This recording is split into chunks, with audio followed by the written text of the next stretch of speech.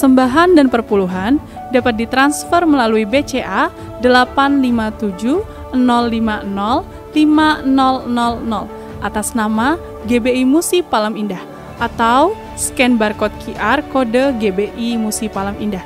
Tuhan Yesus memberkati.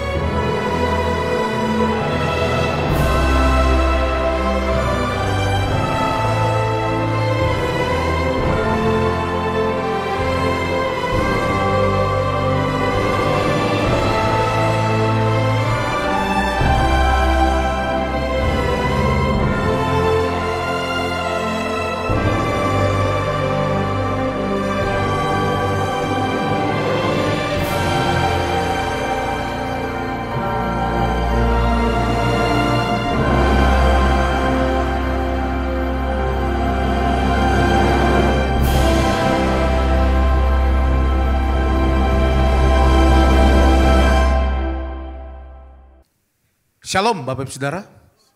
Puji nama Tuhan, apa kabar semuanya? Berjumpa dengan kami kembali di Menara Doa pada hari ini. Kami berterima kasih untuk kesetiaan Bapak Ibu Saudara yang selalu mengikuti Menara Doa ini setiap hari. Nah, saya percaya hari ini Tuhan akan melawat kita bersama-sama. Mari Bapak Ibu Saudara siapkan hatinya dan saya percaya hari ini Roh Kudus akan melawat kita bersama-sama.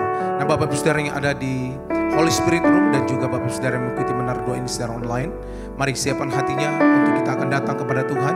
Kita minta biarlah hari ini Tuhan akan melawat kita bersama-sama. Mari siapkan hati kita Bapak Ibu Saudara. Kita akan berdoa bersama-sama. Kami bersyukur untuk hari ini Tuhan. Terima kasih ya Tuhan untuk kasih-Mu dalam kehidupan kami. Terima kasih untuk penyertaan-Mu ya Tuhan yang selalu ada dalam kehidupan kami setiap hari. Bawa kami hari ini ya Tuhan untuk kami masuk ke dalam hadirat-Mu ya Tuhan. Satu yang kami rindu, biarlah kami mengalami Tuhan. Terima kasih Roh Kudus, pimpin ya Tuhan. Menara doa kami ini ya Tuhan. Lawat umat-umat-Mu ya Tuhan. Mereka yang sakit biarlah Tuhan Engkau sembuhkan. Kami percaya hadirat-Mu ya Tuhan. Mengubahkan seluruh kehidupan kami. Terima kasih Roh Kudus, pimpin ya Tuhan. Dalam nama Tuhan Yesus. Mari naikkan ucapan syukur. Katakan Tuhan Engkau baik. Bahwasanya kasih setia. Bahwasanya kebaikanmu bagi hidup kami. Oh ralabaya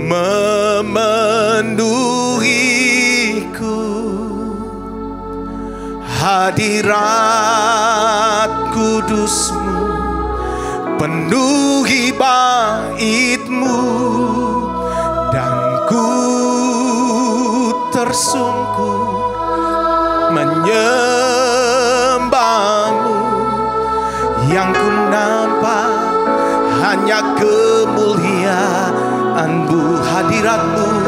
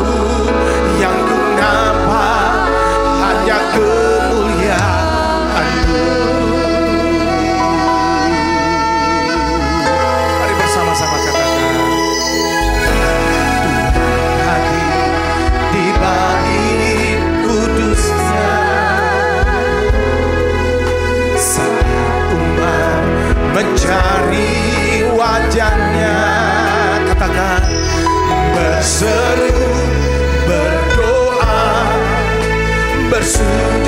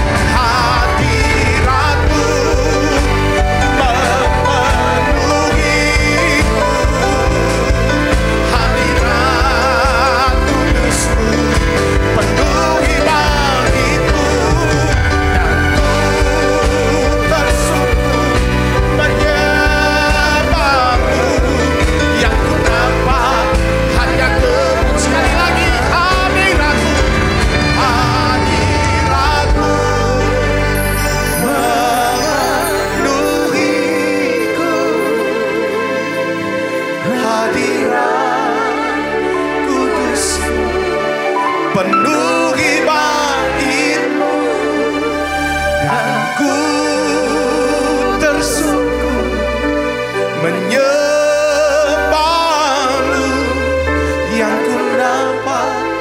Hanya kemuliaanmu dan kami tersungguh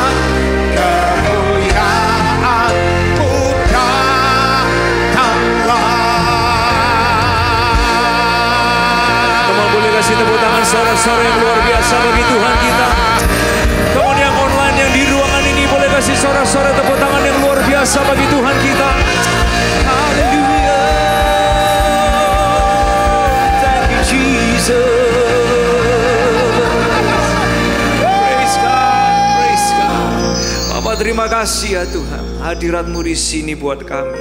Kemuliaanmu terus dinyatakan buat hidup kami. Tuntunanmu ada buat kami. Tuhan hari ini kami mau buka hati kami selebar-lebarnya. Biar lewat momen hari ini kami boleh terus mendengar Tuhan berbicara. Membangun kami lagi dan lagi dan lagi ya Tuhan. Biar hidup kami terus menjadi terang, menjadi garam dan terus boleh memuliakan nama Tuhan. Terima kasih ya Tuhan di dalam nama Tuhan Yesus yang diberkati dan siap diberkati lebih lagi sama-sama kita berkata. Amin. Amin. Boleh kasih tepuk tangan yang luar biasa sekali lagi bagi Tuhan kita. Silakan duduk Bapak Ibu Saudara sekalian. Shalom semuanya. Senang sekali kalau di hari ini kita boleh beribadah lagi bersama-sama dan merenungkan pesan firman Tuhan. Bapak Ibu Saudara sekalian hari ini saya ingin mengajak kita untuk merenungkan tentang sebuah pesan yang saya beri judul tentang Tuhan dan pertolongannya. Boleh kita ucapkan sama-sama dua tiga Tuhan dan pertolongannya. Ada banyak sekali orang yang bertanya-tanya tentang pertolongan Tuhan. Kadang kita bertanya, Tuhan kapan pertolongannya datang? Atau bahkan di antara kita sering kali kita merenungkan lalu kita berpikir, pertolongan Tuhan itu tergantung apa sih sebetulnya? Dan gimana supaya pertolongan Tuhan itu ada dalam kita? Nah, oleh sebab itu Bapak Ibu Saudara saya ingin mengajak kita melihat dari tiga teks hari ini. Dari Matius pasal yang ke-17, lalu ayat pasal yang ke-21 dan juga di Markus pasal yang ke-11. Saya ingin bacakan terlebih dulu dari Matius pasal yang ke-17, ayat yang ke-19 sampai yang ke-20. Kemudian murid-murid Tuhan Yesus datang dan ketika mereka sendirian dengan dia, bertanyalah mereka, mengapa kami tidak dapat mengusir setan itu? Ia berkata kepada mereka, karena kamu kurang percaya. Sebab aku berkata kepadamu sesungguhnya sekiranya kamu mempunyai iman sebesar biji sesawi saja, kamu dapat berkata kepada gunung ini, pindah dari tempat ini ke sana, maka gunung ini akan pindah dan takkan ada yang mustahil bagimu. Nah, Matius 21 ayat yang ke-21 berkata, Tuhan Yesus menjawab mereka, aku berkata kepadamu, sesungguhnya jika kamu percaya dan tidak bimbang, kamu bukan saja akan dapat berbuat apa yang ku berbuat dengan pohon ara itu, tapi juga jikalau kamu berkata kepada gunung ini beranjalah dan tercampaklah ke dalam laut, hal itu akan terjadi. Markus 11 ayat 22 sampai 23 mengucapkan ayat ini. Yesus menjawab mereka, "Percayalah kepada Allah. Aku berkata kepadamu sesungguhnya barang siapa berkata kepada gunung ini, beranjaklah dan tercampaklah ke dalam laut, asal tidak bimbang hatinya, tapi percaya bahwa apa yang dikatakannya itu akan terjadi, maka hal itu akan terjadi baginya. Nah, Bapak Ibu saudara dari tiga teks ini, kadang kalau kita merenungkan lalu kita memikirkan aplikasinya dalam kehidupan kita, ada di antara kita yang mungkin saya ini kurang percaya apa Tuhan, Kadang kita bilang gitu. Kadang di antara kita merasa kayak saya udah mengucapkan pesan firman Tuhan, saya udah memperkatakan firman Tuhan kepada mungkin gunung masalah, gunung problema, gunung apa pun yang ada dalam pernikahan, mungkin di parenting kita, di uh, keluarga, di pekerjaan, terhadap hutang piutang, terhadap cicilan kita, terhadap pelayanan kita, dikul dan lain sebagainya. Kurang apa Tuhan? Kok seolah-olah kayak pertolongan Tuhan mungkin langsung datang cepat bagi orang lain. Kok seolah-olah kayak pertolongan Tuhan bagi saya kok kelihatannya perlahan atau mungkin lambat gitu. Nah Bapak Ibu saudara sekalian, Tuhan dan pertolongannya. Saya ingin mengajak, mengajak Anda untuk merenungkan yang pertama ini. Tuhan dan pertolongannya itu bicara soal ini. Tuhan dan momen stretching kita. Tuhan dan momen stretching kita. Boleh kita ucapkan sama-sama ya dua tiga. Tuhan dan momen stretching kita. Tuhan dan momen stretching kita ini bicara soal ini saudara. Ada waktunya Tuhan gerak sesuai kapasitas dan iman kita. Ada waktunya Tuhan itu dia gerak sesuai kapasitas dan iman kita. Wah kok bisa kayak gitu Pastor Elisa? Contoh Bapak Ibu Saudara di dalam Alkitab. Dalam Alkitab suatu hari ada seorang panglima besar namanya Naaman. Naaman ini dia kena sakit kusta. Nah, di zaman itu kusta itu kan sesuatu yang memalukan, sesuatu yang uh, menjijikan ya, mohon maaf bagi orang di zaman itu dan bahkan Kalau orang udah kusta, maka panglima besar ini, orang yang powerful, influential ini, wah kemungkinan dia akan segera diisolasi. Diisolasi itu artinya dikeluarkan dari kota tersebut, dibuang jauh-jauh. Dia nggak akan pernah ketemu keluarga, dia nggak akan pernah ketemu orang lain lagi. So mulai cari yang namanya kesembuhan kan, si Naaman ini. Ketemulah dia, dikasih tahu oleh hambanya bahwa ini ada seorang nabi, nabi Ibrani namanya Nabi Elisa. Pergilah ke sana temuilah dia. Wah dia udah pergi ke Nabi Elisa, ternyata Nabi Elisa itu cuma titip pesan ya, lewat hambanya. Pergi kamu ceburkan dirimu di sungai sebanyak tujuh kali. Tersinggung kan Naaman dalam cerita itu awalnya dia marah gitu. Loh saya ini panglima, saya ini pembesar, saya ini orang influential. Kok dia nemuin aja enggak? Malah cara pengobatannya aneh dan cukup merendahkan bisa dibilang. Pergi ke sungai, ceburkan dirimu tujuh kali gitu. Nah tapi ternyata kadang Bapak Ibu Saudara sekalian Tuhan itu gerak sesuai dengan kapasitas dan iman kita. Nah bisa bayangkan kalau anak aman waktu itu dia menceburkan dirinya sekali. Oke lah sekali belum terjadi apa-apa gitu kan. Lalu dia ceburkan dirinya dua kali. Dua kali nggak terjadi apa-apa, tiga kali. Bisa nggak kita itu misalnya pergi ke dokter, sekali datang bayar nggak ada apa-apa, dua kali bayar nggak ada apa-apa, tiga kali bayar nggak ada apa-apa, terus kita merasa gini, konyol banget nih pergi ke dokter, kita udah buang duit, udah buang waktu, nggak terjadi apa-apa. Bisa loh Naaman itu merasa kayak ini konyol ini, perintah dari Nabi ini. Apa yang akan membuat saya berubah, apa yang akan membuat saya sembuh dari kusta saya. Apalagi hanya sekedar masuk ke sungai gitu kan. Dia pasti juga menguasai daerah itu. Dia juga paham tentang sungai tersebut. Kemungkinan waktu pembangunan entah itu rumah, entah itu building di daerah sungai tersebut, dia juga hadir di sana. Dan dia nggak merasa kayak apa artinya menceburkan diri di sungai sebanyak tujuh kali. Tapi ternyata dia coba untuk ini saudara. Dia coba untuk mentaati apa yang diucapkan. Apa yang difirmankan. Apa yang disampaikan kepada dia. Dan ketika dia mungkin sudah menceburkan diri keempat kali, kelima kali, keenam kali bahkan. Mungkin loh ya kalau kita manusia biasa kita akan merasa cukup ini penghinaan ini. kita bisa merasa gitu. Tapi ketika dia menceburkan dirinya ketujuh kalinya, eh justru di situ dia melihat yang namanya kesembuhan. Nah ada kalanya kadang Tuhan itu Bapak Ibu Saudara sekalian, dia bergerak sesuai kapasitas dan iman kita. Why? Karena ada momennya pertolongan Tuhan itu dia melakukannya supaya gini, dia bisa stretch kehidupan kita. Dia bisa bentuk kita, dia bisa perbesar ketekunan, ketaatan, mungkin kesetiaan, mungkin komitmen kita. Ada waktunya dia akan stretch itu dari hidup kita. Lalu dia bergerak bagi kehidupan kita. Contoh Bapak Ibu Saudara sekalian, dalam dua Raja-Raja pasal 13. Dua Raja-Raja 13 itu cerita tentang seorang raja yang bernama Raja Yoas. Raja ini dia itu khawatir karena Nabi Elisa itu sudah mau meninggal dunia. Nah, karena dia khawatir, lalu dia itu berpikir gini, nanti siapa yang akan backup bangsa ini?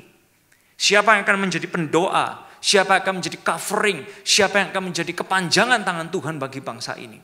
Apalagi eh, Yehuda waktu itu, itu sering sekali diserang, diganggu dan diserang dan diganggu dan diserang.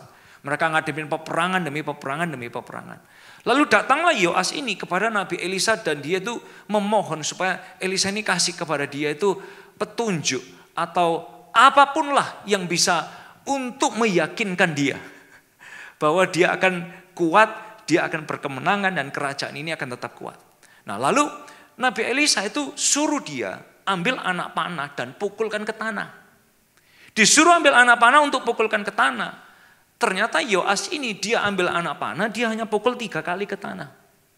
Nah di cerita itu Nabi Elisa itu marah. Dan menegur dia, kenapa kamu kok cuma pukul tiga kali aja ke tanah? Harusnya kalau kamu itu kepingin menang, nah, harusnya kalau kamu itu kepingin menang, pukulkan berulang kali anak panah ini ke tanah. Bukan cuma tiga kali, kayak nggak ada semangatnya, kayak nggak ada passionnya, kayak nggak ada visinya, kayak nggak ada kerinduannya untuk menang. Nah perhatiin saudara, dari cerita ini kita lihat ternyata kadang ada waktunya Tuhan itu gerak sesuai dengan kapasitas dan iman kita. Oleh sebab itu kalau Tuhan mau stretch kita, dia mau stretch iman kita, Dia mau stretch kekuatan kita. Dia mau stretch ketekunan kita. Dia mau stretch karakter kita makin serupa dengan Yesus. Izinkan Tuhan. Karena ada kalanya Tuhan itu bergerak, dia melakukan perkara yang besar, kadang dia geraknya sesuai dengan kapasitas dan iman kita.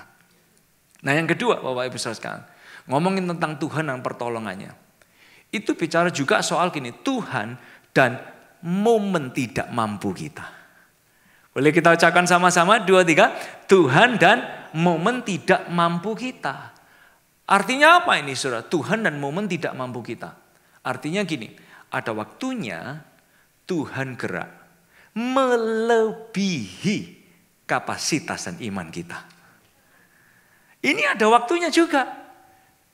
Tuhan dia gerak melebihi kapasitas dan iman kita. Bahkan melebihi ketidakmampuan kita. Makanya ayatnya itu bilang gini, you will soar like an eagle.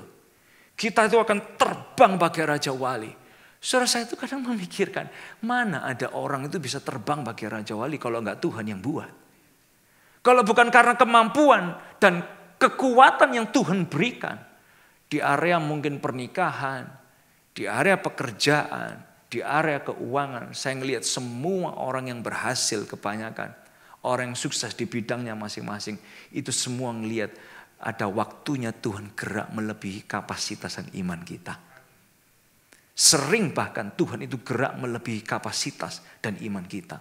Oleh sebab itu ayatnya itu pernah bilang gini dalam Efesus pasal yang ketiga ayat yang ke-20 yang kadang orang itu merasa kok saya kadang harus tunggu Tuhan sampai saya di stretch.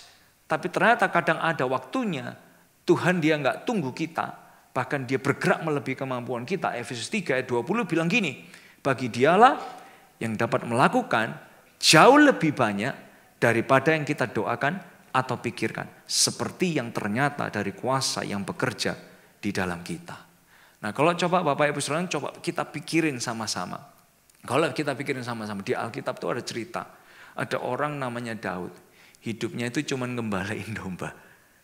Ya kan?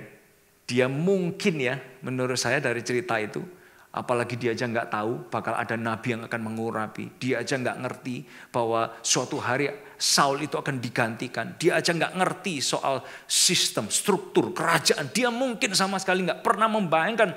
Mimpi pun dia mungkin nggak pernah saudara untuk jadi raja. Tapi kok aneh, ada momen kadang Tuhan itu gerak melebihi kapasitas kita. Sewaktu Nabi datang ke rumah Isai untuk mengurapi anak dari Isai. Itu bukan karena Daud udah hebat loh. Bukan karena Daud sudah wah punya kapasitas raja. Bukan karena Daud sudah punya skill, bukan karena Daud sudah punya edukasinya raja, bukan karena Daud mungkin pernah sekolah di luar negeri untuk jadi raja, enggak pernah. Dia hanya penggembala domba biasa.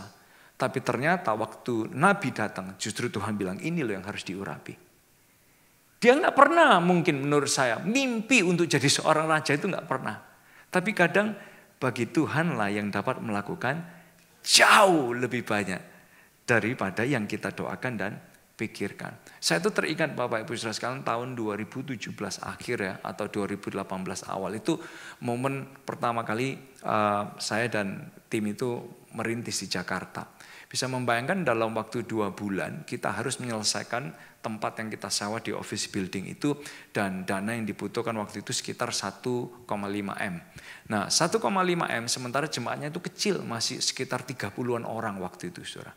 Jujur waktu saya ngelihat jumlahnya data, dana yang harus dibutuhkan dan lain sebagainya. Jujur dalam hati kadang saya tuh merasa Tuhan ini bisa atau enggak ya. Tapi saya kadang yakin gini, kalau Tuhan kasih visi, dialah provisi bagi kita. Iya kan? Nah dari situ saya tuh ngeliat gini, wah ternyata Tuhan juga mampu kerjakan. Dan pelan-pelan, pelan-pelan, pelan-pelan ketika kita ngelihat wah karya Tuhan itu luar biasa dalam dua bulan 1,5 M bisa terbayar dan gak ada hutang loh saudara. Nah dari situ tuh kita tuh ngelihat bahwa kadang Tuhan itu juga gerak gini. Melebihi kapasitas dan iman kita. Jadi yang pertama Tuhan dan momen stretching kita. Ada waktunya dia mau perbesar kita. Dia tunggu kita, ayo makin dewasa, ayo makin kuat, ayo makin matang gitu. Ada waktunya juga dia bergerak melebihi kapasitas dan iman kita. Dan yang ketiga Bapak Ibu Saudara, Tuhan dan pertolongannya dan kontrolnya adalah gini. Tuhan dan kontrolnya. Boleh kita ucapkan sama-sama? Dua, tiga. Tuhan dan kontrolnya. Apa yang akan saya jelaskan kepada Bapak Ibu Saudara sekalian itu akan menunjukkan bahwa pertolongan Tuhan dari tiap musim kehidupan orang itu selalu ada. Tapi saya kepingin contohkan dari cerita ini saudara, pecahnya Israel. Kalau Anda tahu pecahnya Israel, eh, peta Israel itu kan terbagi dua ya. Israel itu di atas, ya, yang awalnya Israel itu jadi satu, yang awalnya Israel itu jadi satu, yang biru. Terus karena Israel itu pecah, ya, maka pecah itu yang atas itu Israel, yang bawah itu Yehuda. Nah, sebetulnya kejayaannya Israel ini ada pada tiga raja pertama mereka, yaitu Saul, Daud, Salomo. Nah setelah pecahnya, setelah zaman Salomo kan mereka pecah menjadi utara itu Israel, petanya boleh dikeluarin aja. Utara itu Israel, selatan itu Yehuda dan Benyamin. Ya, itu gambarannya, petanya. Nah pecah jadi Israel dan Yehuda. Sekali lagi utara itu Israel, selatan itu Yehuda. Kebanyakan raja-raja yang di Israel itu jahat di mata Tuhan. Kalau Anda baca dalam raja-raja, dalam kitab nabi-nabi dan sebagainya. Kebanyakan yang di Israel itu raja-rajanya itu jahat banget di mata Tuhan. Di Yehuda ada yang baik, ada yang jahat gitu. Nah karena Israel ini rajanya itu jahat, mereka itu benci dan gak menghormati Tuhan, maka Tuhan mengizinkan, perhatikan ini, karena Tuhan yang pegang kontrol. Kalau Tuhan nggak izinkan, tidak mungkin terjadi. Nah Tuhan mengizinkan Asyur itu yang menyerang Israel. Kenapa kok Tuhan izinkan Asyur itu yang menyerang Israel? Karena kalau Asyur itu menyerang, saudara perhatikan ya, kalau Asyur itu menyerang, cara dan metode dia menyerang, maka seluruh bangsa itu akan diluluh lantakkan, dihabiskan. Seluruhnya dihabiskan. Jadi bisa bayangkan, 10 suku Israel ketika Tuhan izinkan diserang oleh Asyur, maka seluruh sepuluh suku Israel habis dilululantakkan.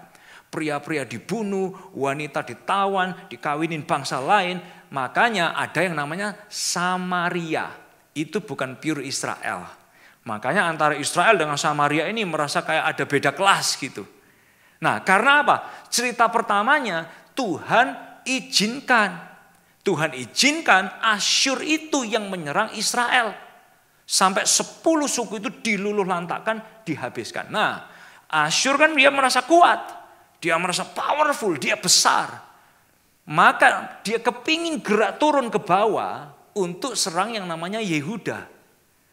Di mana di situ ada uh, Yehuda dan Benyamin, dua suku. Dia merasa powerful, dia merasa besar, dia mau turun ke bawah. Saudara mau tahu nggak? Kalau tidak seizin Tuhan tidak terjadi. Sebesar apa pun asyurnya, sekuat apa pun asyurnya, kalau tidak seizin Tuhan, tidak terjadi. Di situ itulah Tuhan dan kontrolnya ada atas setiap orang. Bahkan atas bangsa. Bahkan atas musuh kita. Bahkan atas kawan kita. Tuhan dan kontrolnya selalu ada. Nah maka karena ketika Tuhan pegang kontrol, dia tidak izinkan Asyur itu turun ke bawah sampai di Yehuda. Tapi Tuhan izinkan siapa? Karena kan raja di Yehuda ini ada yang baik, ada yang jahat. Tuhan izinkan yang namanya ini sudah Babylon untuk menyerang. Kenapa kok Babylon? Karena cara metode menyerangnya Babylon ini beda dengan Asyur. Kalau Babylon dia serang, maka dia akan ambil best of the bestnya. Yehuda. Dia akan ambil best of the bestnya, pria-pria terbaiknya, orang-orang pinternya, ilmuwan ilmuannya. Semua yang terbaik itu akan diambil ditawan. Nah perhatiin ketika Babylon ini ambil semua orang terbaik dari Yehuda ketika Yehuda diserang. Tuhan pun pegang kontrol. Supaya apa? Pria-pria Yehuda, orang-orang pinter Yehuda, tokoh-tokoh Yehuda, orang-orang yang sudah Tuhan atur dan siapkan suatu hari mereka yang akan dikirim kembali ke Yehuda, itu sudah ada untuk membangun Yehuda. Di sini ini loh saudara, kalau Anda lihat sejarahnya Israel dan Yehuda, Tuhan pegang kontrol itu melebihi apa yang kita pikirkan. Melebihi apa yang bisa kita bayangkan. Yang serang Yehuda pun Tuhan atur. Bukan Asyur. Kalau nggak seizin Tuhan, Asyur nggak mungkin bisa serang Yehuda. Babylon yang masuk dan ambil yang terbaik. Nah makanya 70 tahun, ya kan 70 tahun di Babylon, Tuhan izinkan yang namanya Yehuda ini kembali dipulihkan. Dibangunlah tembok, dibangunlah bait alat dan lain sebagainya, saudara. Makanya kalau kita ngelihat dalam kitab Raja-Raja, Tawari, itu semua adalah ceritanya nabi-nabi antara Israel yang ada di utara dan Yehuda yang ada di selatan. Ya, nah membuat kita semua gini, wah ternyata Tuhan kalau dia pegang kontrol atas kehidupan kita, nggak ada seorang pun bisa mengusiknya. Tidak seorang pun bisa mengusik Anda kalau tidak seizin Tuhan. Nah hari ini kalau kita mungkin diizinkan punya tantangan, punya pergumulan. Tuhan nggak pernah punya maksud jahat atas hidup kita.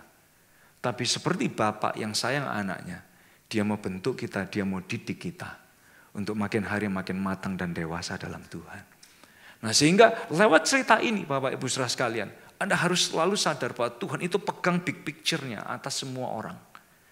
Hari ini mungkin Anda nggak bisa lihat big picture atas keluarga Anda masing-masing. Tuhan udah lihat big picture-nya dari generasi ke generasi, gimana dia siapkan berkat keturunan itu turun dalam keluarga Anda masing-masing. Dia udah lihat big picture atas keluarga kita masing-masing. Gereja kita, pelayanan Anda. Tuhan udah pegang big picture-nya. Karena dia ini pegang kontrol atas segala hal.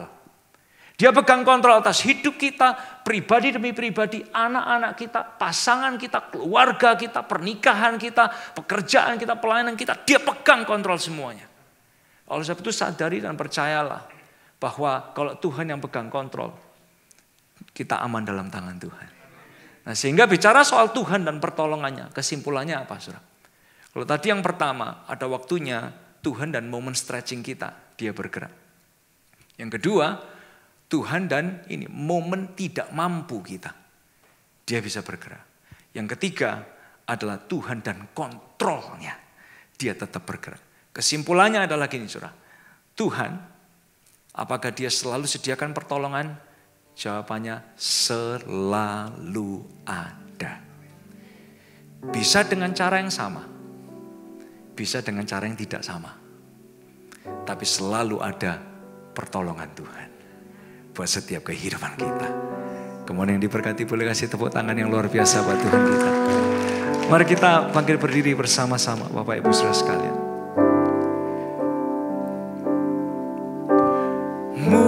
Mujizat masih terjadi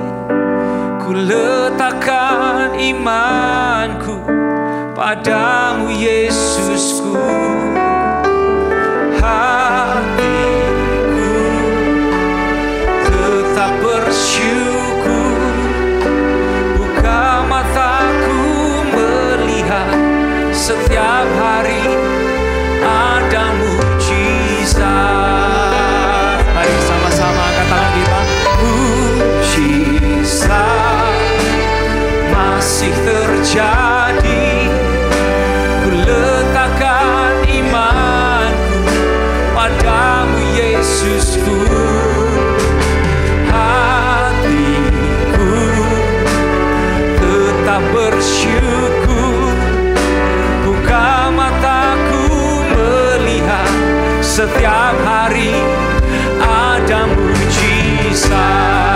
Mari deklarasikan sama-sama. Mujizat masih terjadi. Ku letakkan imanku padamu Yesusku.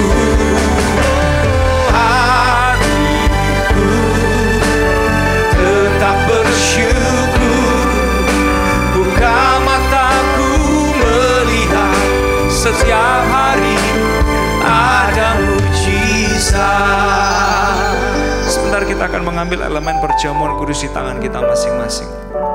Sementara Anda mempersiapkan elemen perjamuan kudus ini, Anda boleh pegang roti di tangan kanan kita dan cawan di tangan kiri kita. Bapak terima kasih ya Tuhan. Kami sadar bahwa Tuhan itu pegang kontrol dan pegang kendali atas segalanya. Kadang saat kami nggak mampu pegang kontrol, ada Tuhan yang tetap lebih besar daripada kami. Waktu kami nggak bisa pegang kendali atas semua hal, tetap ada Tuhan yang pegang kendali atas seluruh alam semesta ini. Dan hari ini amankan kami, tenangkan, teduhkan kami, teguhkan kami. Bahwa dalam perjalanan ini kami nggak pernah sendirian. Tuhan, Engkau pegang kendali atas keluarga kami. Engkau pegang kendali atas anak-anak kami. Engkau pegang kendali atas pekerjaan keuangan kami. Engkau pegang kendali atas pelayanan kami. Tuhan tidak pernah biarkan. Biar kami sadar bahwa matamu dan wajahmu itu diarahkan kepada kami.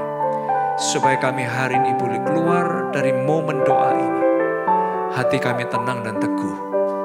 Tuhan Yesus membela kami. Mari angkat roti lebih tinggi dari kepala kita masing-masing. Aminkan dengan kata haleluya dengan suara yang lantang. Bukankah roti yang kita pegang adalah lambang persekutuan dengan tubuh Kristus. Haleluya. Dalam nama Tuhan Yesus mari makan bersama dengan ucapan syukur.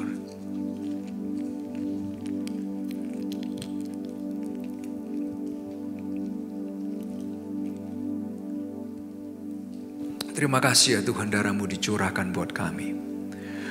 Kalau hari ini ada di antara kami yang datang dengan sakit penyakit, ingatkan kami saat kami bersekutu dengan kuasa darah Yesus. Ada kesembuhan dan ada pemulihan buat kami. Kalau hari ini mungkin kami datang dengan patah semangat, kehilangan kekuatan.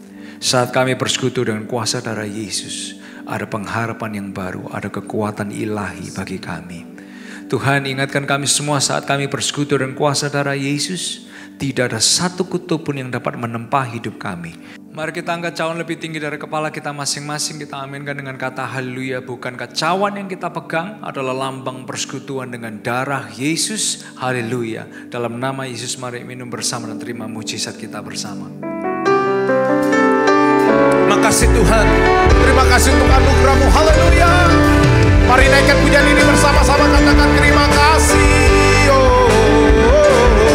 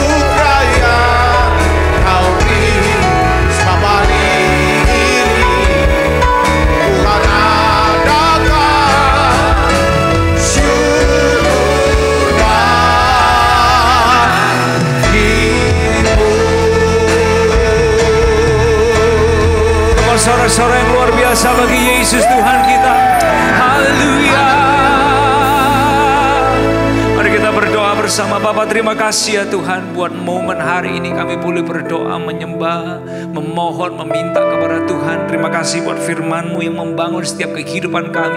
Kami sadar bahwa pertolongan Tuhan itu ada, selalu ada dan selalu tersedia buat hidup kami. Terima kasih ya Tuhan, terima kasih sebentar kami kembali ke semua aktivitas kami. Kami percaya kebajikan, kemurahan Tuhan dan berkat-Mu itu mengikuti setiap langkah kehidupan kami. Terima kasih di dalam nama Tuhan Yesus yang diberkati sama-sama kita berkata, Amin, amin. Kamu boleh kasih tepuk tangan yang luar biasa bagi Tuhan kita.